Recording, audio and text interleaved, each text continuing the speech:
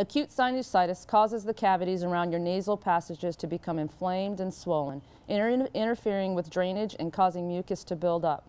The symptoms include the drainage of yellow, thick, or green discharge from the nose or down the back of your throat, nasal obstruction or congestion, pain, tenderness, swelling, and pressure around your eyes, cheeks, nose, or forehead, a reduced sense of smell and taste, coughing, which may be worse at night.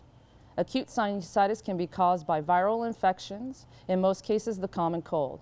Also bacterial infections or fungal infections. Treatment for mild symptoms of sinusitis, try self-care such as loratadine or nasal rinses.